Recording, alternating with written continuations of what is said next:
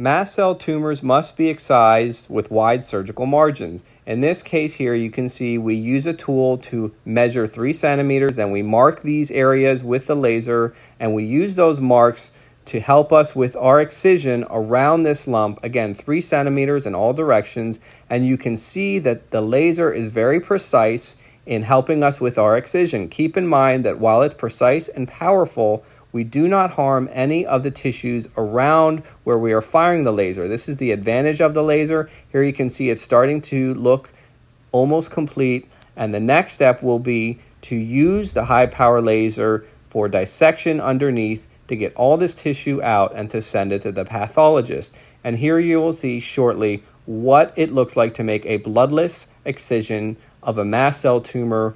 It looks very clean and it gives us the advantage of being able to see things well, and here's how it looks.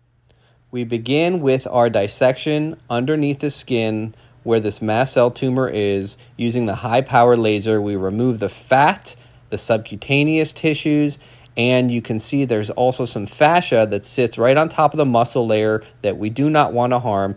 Keep in mind, this is in the shoulder area here where this lump is. Now we have almost completed our excision here and we have not harmed the important shoulder muscles underneath. Once this has been completed, we will then use the laser to help us loosen this flap. Here we're firing it on the subcutaneous tissue to help us loosen the flap so that when we close our flap, there will not be excessive tension, which is exactly what we want in this area of the shoulder. Once this has been completed, we'll be able to close it nicely. And here you can see what it looks like. And thankfully, the report came back with a complete excision.